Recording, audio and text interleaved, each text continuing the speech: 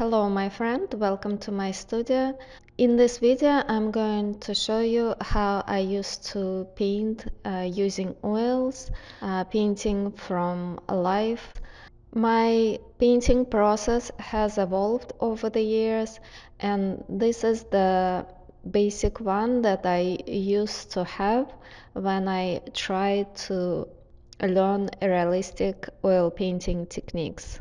I did a small study in my sketchbook and then I began uh, sketching the same still life on canvas using vine charcoal. It erases very easily and this is the easiest way of uh, sketching a still life right onto uh, your canvas. Basically you don't do a preliminary drawing that you uh, transfer on canvas or panel. You just uh, go into it and start sketching your still life using vine charcoal. When the sketch is finished, the next step is to dilute oil paint and start sketching with the brush. So I usually use a single uh, color. Here it's burnt umber because it gives me a very nice a warm brown undertone and I usually dilute it with a little bit of Gamsol.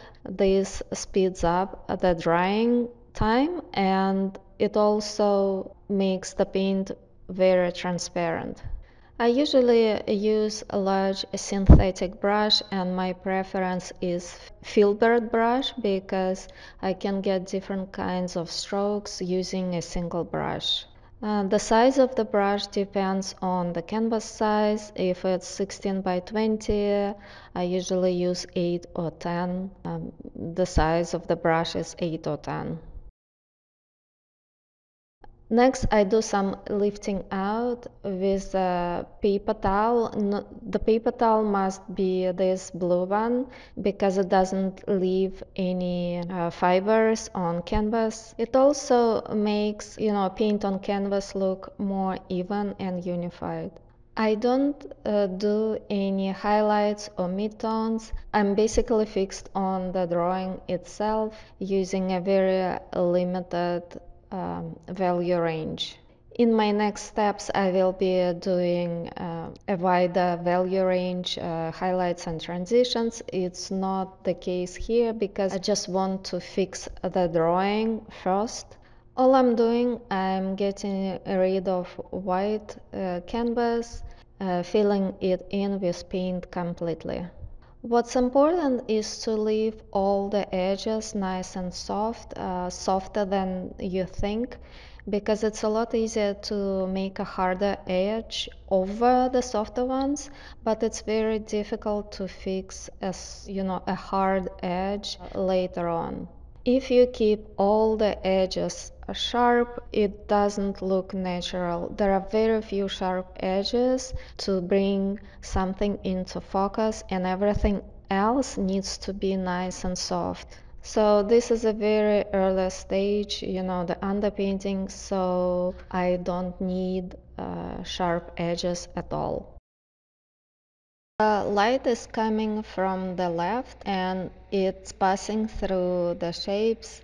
That's why I didn't fill in the left side and left it pure white for now. I basically focused on the shadows and left uh, the highest lights untouched for now. I put more brown paint, burnt umber, into the darkest areas of the painting and then I diluted the paint uh, some more uh, to paint light values using the same paint. These are the areas that make the transitions into the light. Of course it looks super rough because it's uh, the underpainting.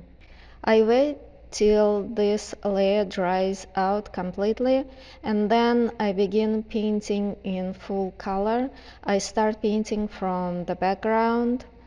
I am creating a little bit of texture in the background, uh, painting wet on wet because this way the edges stay soft. I don't need to soften them additionally. At the end of my painting sessions, I always use a big soft brush to blend the areas um, and I'm gonna do this later on. And to fill in the background, I am using a range of browns with an addition of some cadmium red and uh, alizarin crimson. These colors uh, vary in color temperature and value a lot depending on a brand. And then I mix uh, a little bit of gray with a touch of brown and begin filling in the box. Color mixing is intuitive and actually quite easy when I'm painting from life.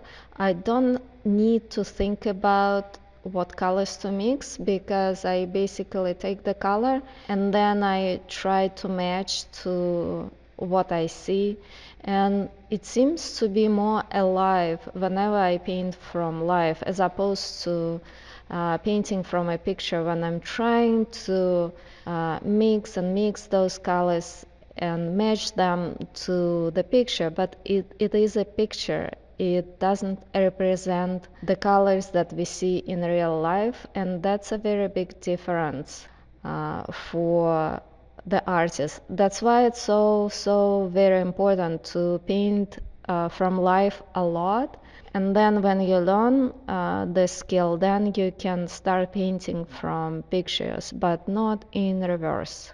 Pay attention to the brush direction or the stroke uh, direction because as you can see sometimes I'm using up and down stroke and other times I'm using horizontal strokes to describe the form. It depends on the object and its rotation in space. This is like really important. I begin the first color pass uh, working on the face. I fill in the shadows in grays and then I keep adding a little bit of color into the gray uh, to create this colorful gray.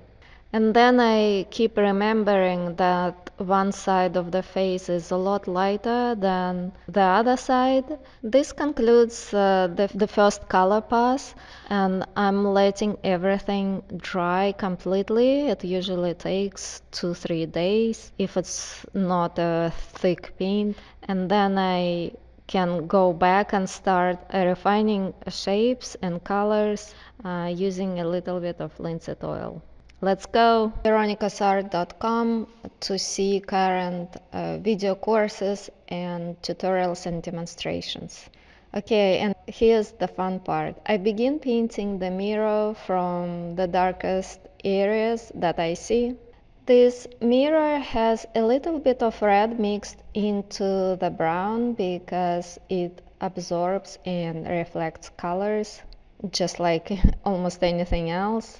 That's why I mixed some red into the browns. Try not to mix white into the red or blue paint for that matter because it's gonna look chalky and washed out. Um, the secret to making the red paint look brighter is to use the lightest red mixed into the red or you know, use the lightest blue mixed into the blue, as opposed to adding white to the basic hue.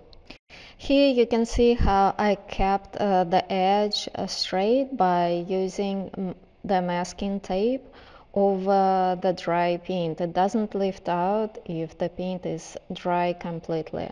And I worked on the right side of the canvas with the masking tape and now I'm lifting it out. I'm using a wide, uh, soft, clean brush to brush uh, the paint gently uh, to smooth out the edges. When the second layer is dry, I go uh, Uh, with the refinement of shapes in my third color layer. This is where I pay a much closer attention to subtle differences in tone. For instance, the right side of the cheek is in the shadow, but there are subtle differences in the tones in that area. This is where I'm trying to create those differences uh, in paint.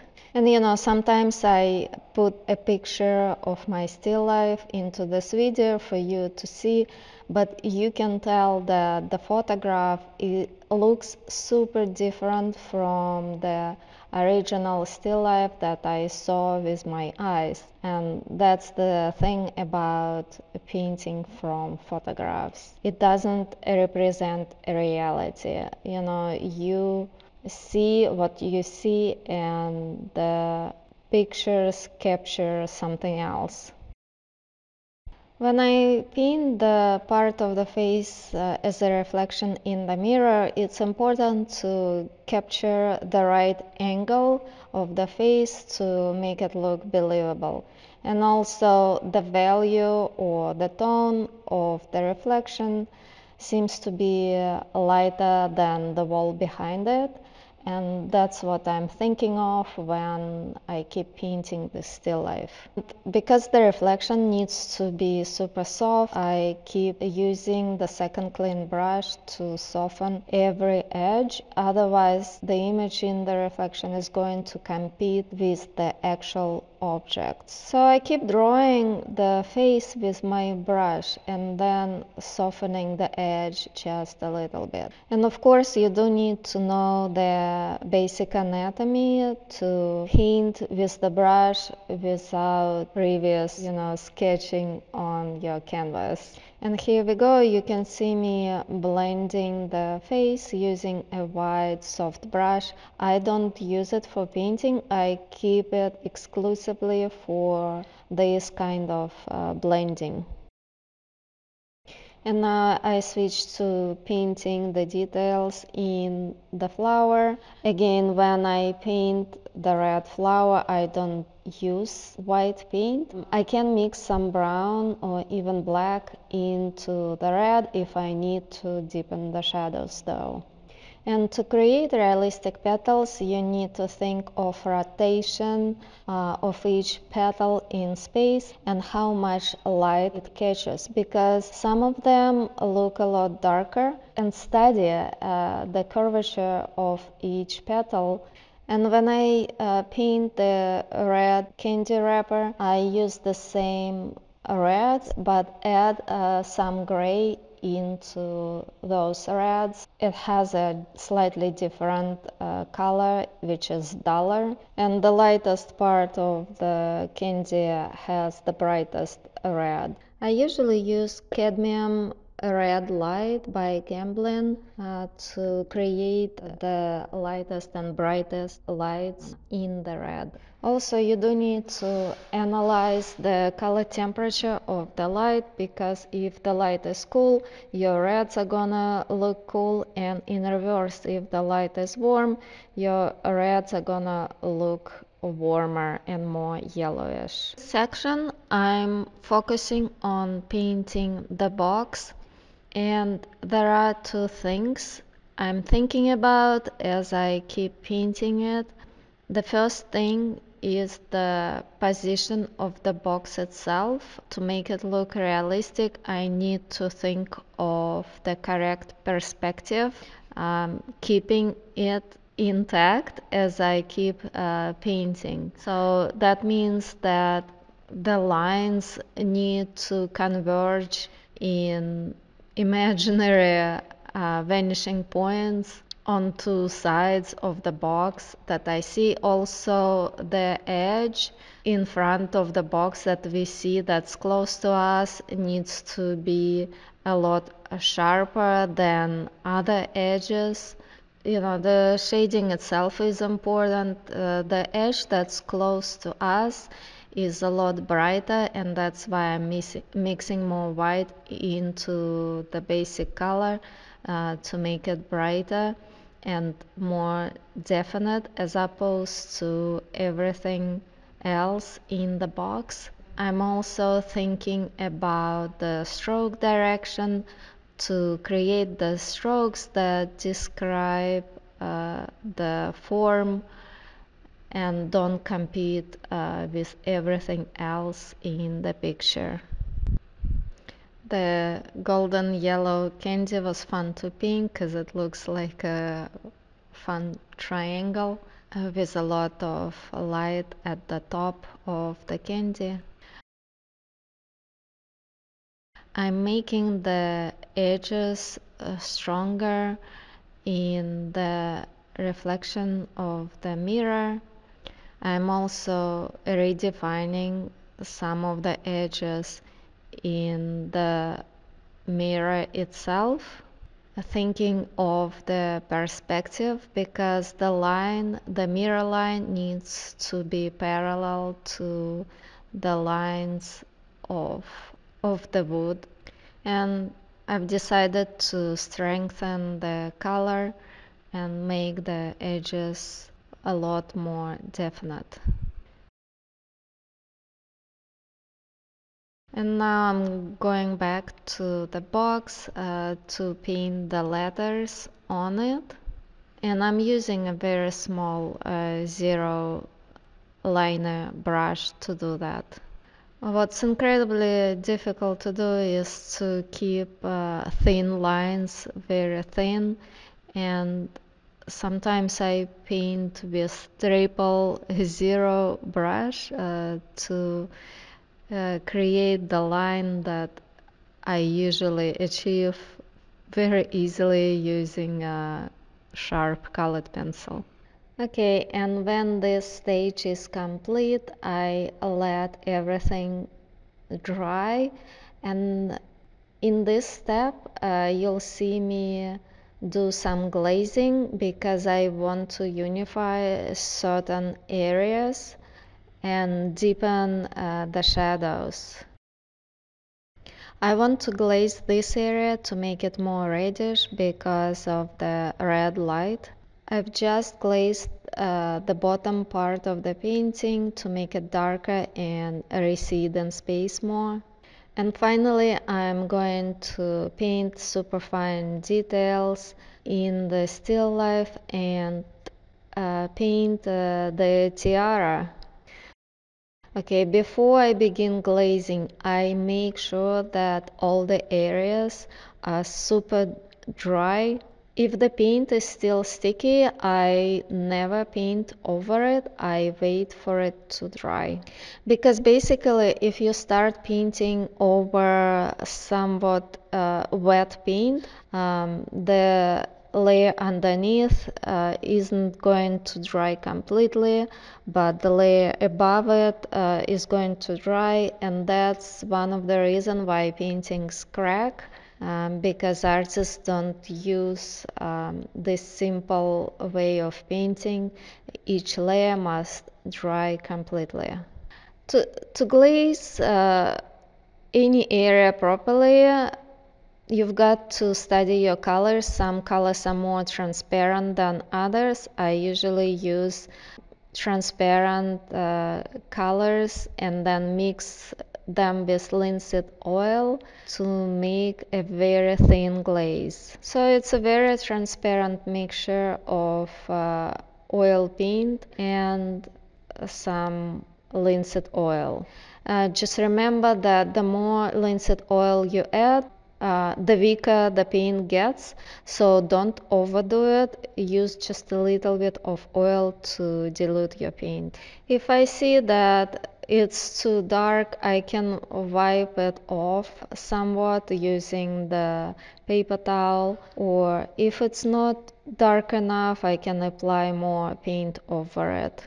Some these colors are reflected on shiny objects and that's why I add this thin glaze over the candy for instance and some of the edges close to the wall. If my brush too small to spread the paint around or it seems that I have a ton of paint there, I use the blue paper towel to wipe it off some or to spread it around some more. It's a very fine balance. You learn these things by uh, trial and error. The goal is to have some uh, paint uh, applied evenly over specific areas, unifying some of the edges and dark areas together. I usually have um, one or two or even three glazes applied at different times um, to deepen the color even more. For instance, if I paint a sash, a blue sash, I would be applying one glaze, um, I would let it dry and apply the second glaze and the third and it deepens the color and makes it look very rich but you need to remember that it darkens the area by a lot. So the more color you apply the darker it gets and you need to think about those things in advance. I'm using the same uh, color glaze uh, applying it over uh, the shadows on the face and close to the edge on the neck, overlapping the edges. I'm adding a little bit of that color into the shadows on her hair and and so on. Because this entire area is in the shadow, uh, I'm putting a little bit of bluish paint over this area and so it, it unifies uh, the shadow part of the face and makes it more of a clear separation between the light side of the face and the dark one. You know, I do some fine adjustments as I keep painting uh, with this glaze uh, to make it a touch darker or lighter in the specific area. And as you can see, um, each side of the face uh, has more unity in color because say one side is in the light so it's unified more in color and the same is true about the shadow side of the face. And it's totally okay to um, add some detail into the glaze uh, while it's still wet. This way it's easier to keep the edges soft. There is a lot of orange red on this side of the face and that's why I'm putting it here. I'm going to lighten it up some, uh, ne painting next to this red orange. Also, uh, when I think of the roundness of the shapes, I look at the value on the edge and if we look at the back of the head, it must not be uh, very bright because otherwise it's not gonna turn into the darkness. That's why I'm, applying some color to darken that area. After it's done, I can uh, continue painting uh, the highlights on this side of the face. As you can see, I'm applying a thin glaze and then I'm wiping it off some to leave a very thin, nice cast that it's difficult to mix otherwise. And I'm strengthening the light on the petals and I'm trying to separate uh, among all of them. Um, so the more light I put in on a very few petals, the more they stick out and the rest of them recede in space. And I usually step back from my painting quite often to see if I got the values or tones right, uh, meaning that it should be dark enough or light enough uh, for it to work. And it's super important to look at the painting from the distance because you lose all the details and you see uh, the values only.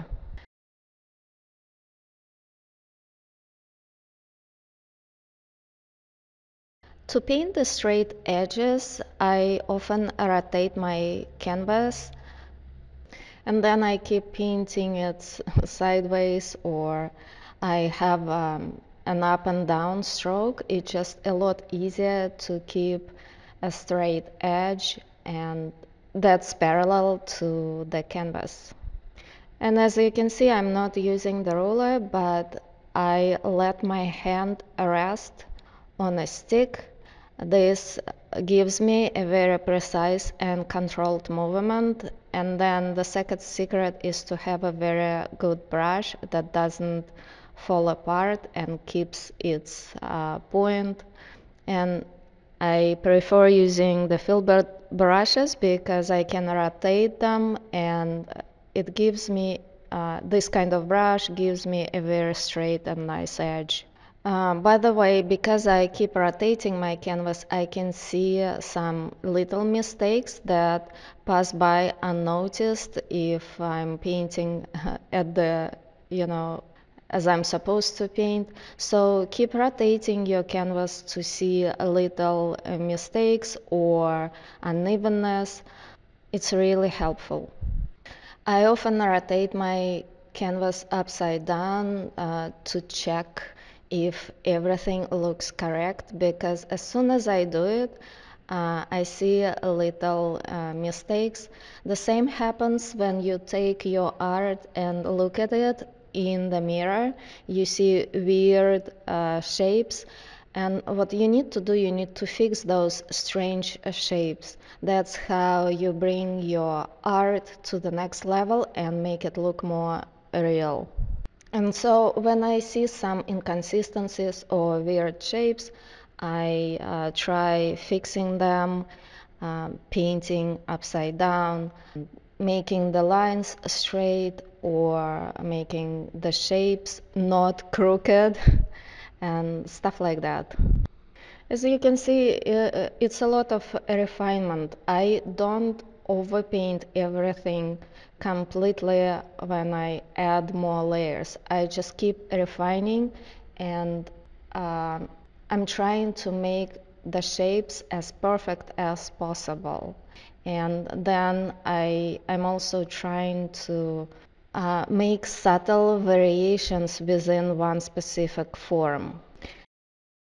And only after that, I begin adding teeny tiny details into the image. As you can see, I didn't sketch the key uh, with my pencil, I just uh, sketched it uh, with the brush. And it takes uh, some patience uh, to learn how to control your brush to make very thin, straight, nice lines. It is a skill. I place uh, the shadow um, behind the key and I also mark the highlights and that that's how I think about every object. I look at the shape of the shadow, I look at the highlight and then I create transitions between the two poles. And finally, I begin painting the tiara. Again, I don't sketch it with a pencil. I just uh, start painting uh, the basic shape using my brush. And, and I put the reflection in the mirror at the same time. Um, to do it correctly, I uh, am thinking of the rotation of the object in space how wide or narrow those arches should be. And I'm trying not to make a mistake here because it becomes a little bit messy if I try to wipe it off. So the secret to doing it correctly is to let your layer dry and then put some linseed oil and wipe it off completely. That makes the surface shiny and ready to paint over it because the paint glides on smoothly. It's a lot easier to make the correct shape without uh, strange edges or um, thick lines. Once I put in this basic uh, black uh, shape that has some brown and even red mixed in, into it, I uh, begin looking at the highlights and I'm adding sparkle into this tiara. This type of painting requires uh, precision uh, in the movement of my hand and I always use a stick to make this controlled movement. When I begin working on the texture of the tiara, I'm thinking what kind of stroke I need to make uh, to copy that texture and make it look uh, real.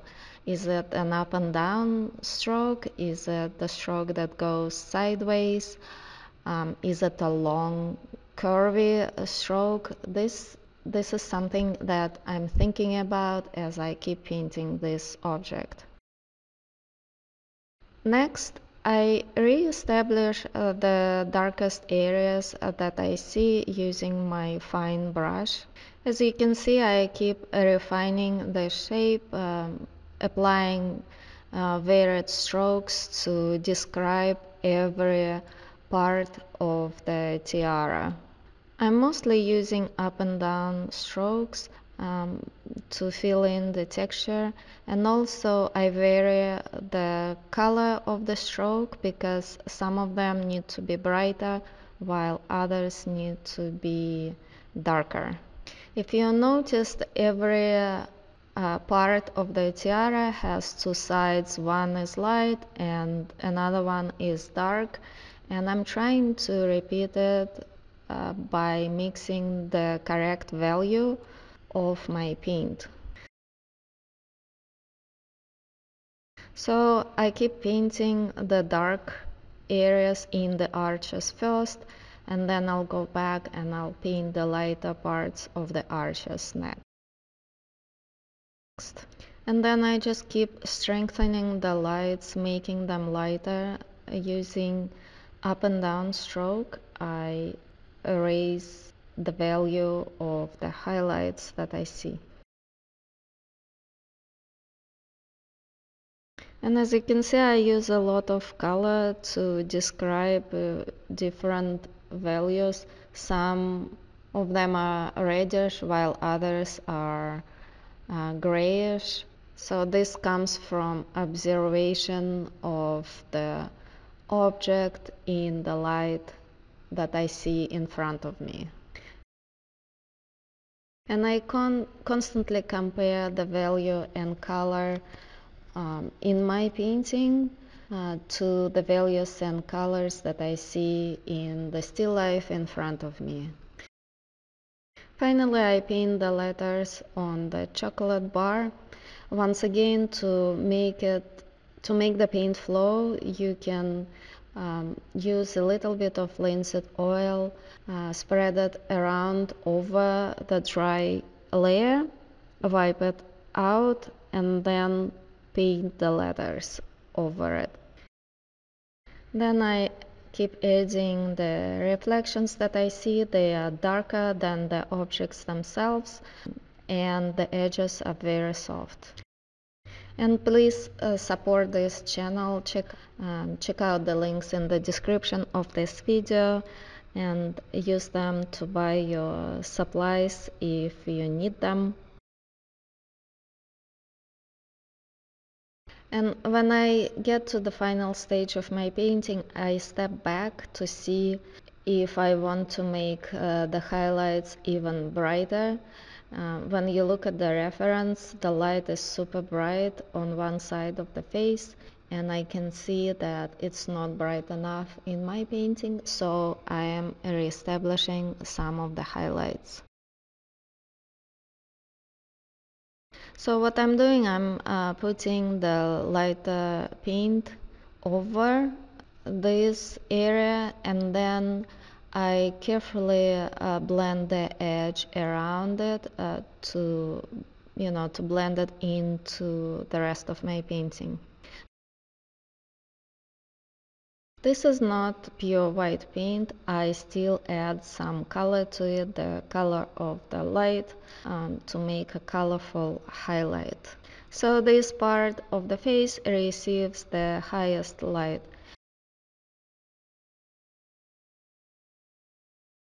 And I hope you enjoyed watching this video and I hope it helps you in your creative pursuits.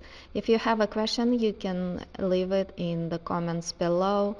I'm trying to check uh, the comments and um, I wish you luck in your creative pursuits. Uh, take care. Bye bye.